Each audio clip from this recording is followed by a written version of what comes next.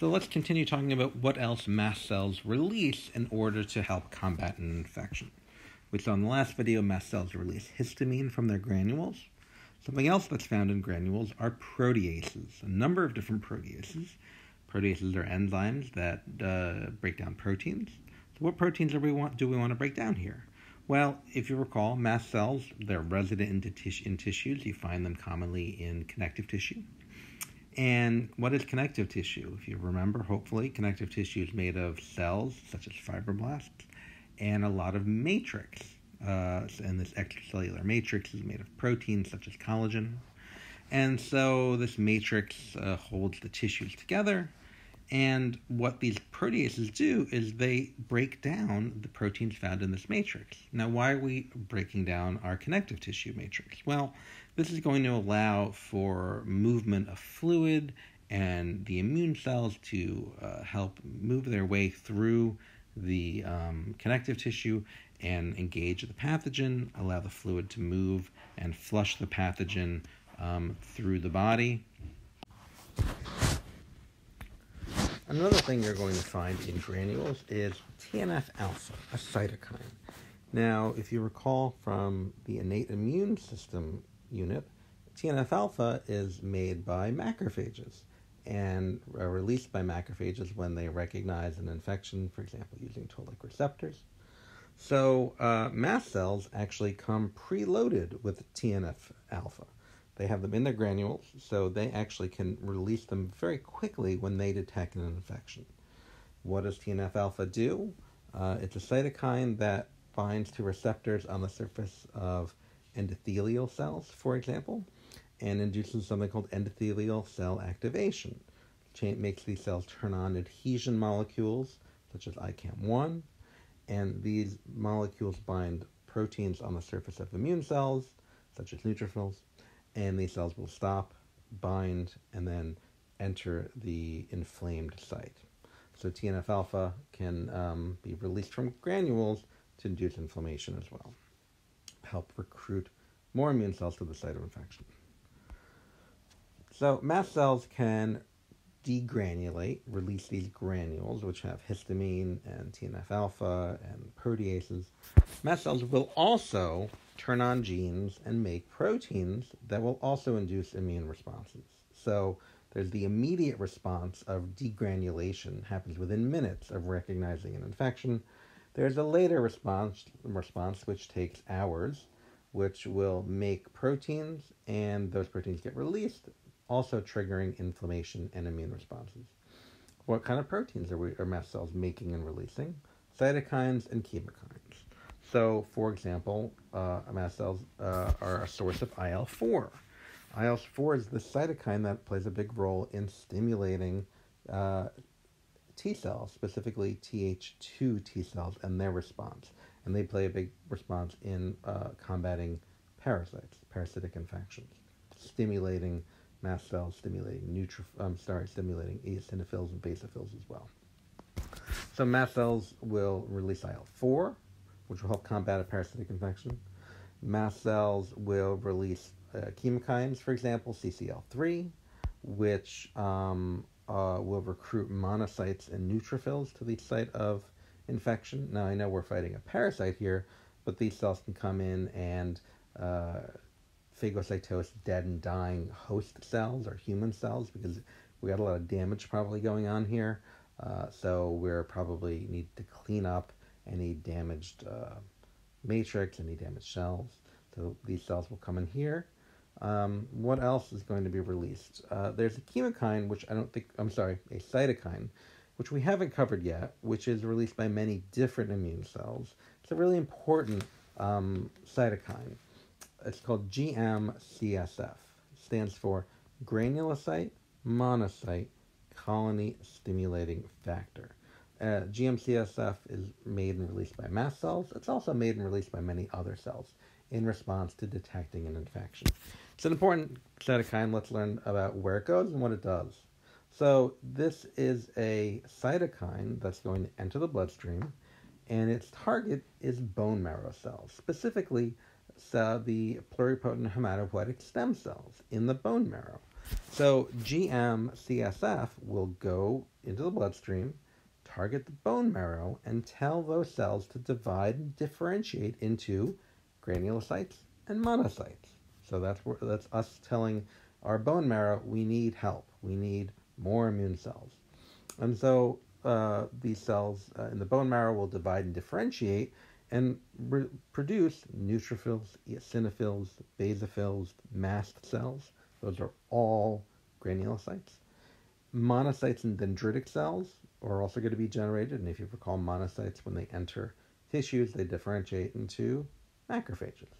So, the uh, this cytokine is a very powerful cytokine, and it's uh, released from many different cells. Mast cells is one of them, and it will basically increase the number of immune cells produced by bone marrow. So those are three cytokines that we can cover: IL-4, CCL3, GM-CSF, released and uh, made and released by mast cells. Uh, lastly, I think lastly, uh, we're going to talk about prostaglandins and leukotrienes. These are small molecules that mast cells will synthesize. So they turn on uh, genes that have the, that are enzymes that make prostaglandins and leukotrienes. These molecules induce inflammation and pain, cause pain. So leukotrienes are small molecules that are similar in function to histamine. They're in fact 100 times more potent than histamine. So they have uh, receptors that are similarly found where you find um, histidine, I'm sorry, histamine receptors. So they're going to cause um, increased vascular permeability, they'll cause smooth muscle contraction, they'll cause mucus and fluid to be released into various tubes. Um, so leukotrienes, just like histamine, but they are made and released later, and they um, are more potent than uh, histamine. Secondly, prostaglandins. Prostaglandins uh, cause inflammation.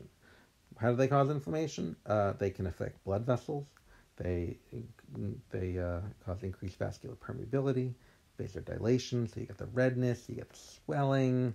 Um, the other thing you get uh, is uh, more immune cells coming to the site of infection. Prostaglandins are chemoattractants for basophils and eosinophils. Those are granulocytes which we can bring in and help fight the infection. Prostaglandins also induce pain. So, inflammation in general induces pain because you have the swelling of the tissues, um, which triggers um, uh, pain receptors in tissues typically to fire. But also, prostaglandins can actually bind uh, and trigger a signaling of sensory neurons. So, we talk about um, pain due to infection, uh, pain due to the immune response. Uh, part of that is due to the production of prostaglandins. So, prostaglandins um, are associated with inflammation and pain. And one reason we talk about this is because we can interfere with prostaglandin production using over the counter medications. So, uh, prostaglandins are synthesized um, from a starter molecule called arachidonic acid. I think I got that right. And there's an enzyme called cyclooxygenase that is used to convert uh, arachidonic acid to prostaglandins.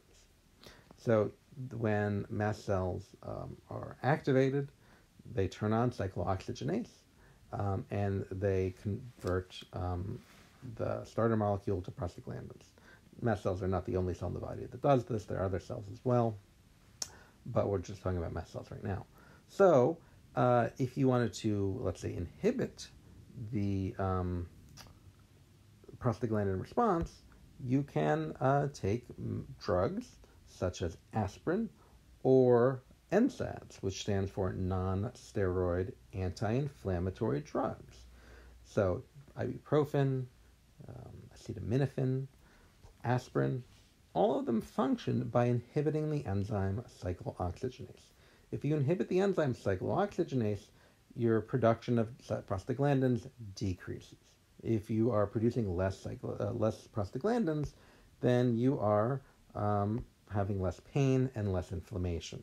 So these NSAIDs, non-steroid anti-inflammatory drugs, reduce uh, inflammation and pain by inhibiting the production of prostaglandins. Okay, so uh, we've talked a lot about mast cells and what they release. Uh, I want to go back to uh, talking about how mast cells recognize an infection. Uh, we said mast cells recognize an infection using their Fc epsilon receptor, uh, which is true. Um, I should write that. There we go. That's the epsilon, Fc epsilon R1. Yeah. Um, but there are actually other receptors on the surface of mast cells which will also allow them to activate. Which receptors? Uh, receptors for the anaphytoxins C3A and C5A. So if you recall, those are uh, complement proteins that are um, created uh, after the, con- the creation of C3 convertases or C5 convertases. And so when you have complement being activated and anaphytoxins being made, anaphytoxins can bind receptors on the surface of mast cells. And that can trigger mast cells to release either granules or produce cytokines, um, chemokines, prostaglandins, leukotrienes. Mast cells also have toll-like receptors on their surface. TLRs, innate immune receptors, they're in fact found on many cells in the body, not just immune cells. Another way for a cell to recognize an infection and release um, cytokines or trigger some other response. So, uh, Fc epsilon receptors, uh, one way for mast cells to recognize an infection, but not the only way for mast cells to recognize infection. So, anaphytoxin receptors, toll-like receptors, can also trigger the activation of mast cells, which will make them produce cytokines, um, produce prostaglandins and leukotrienes, and trigger inflammation.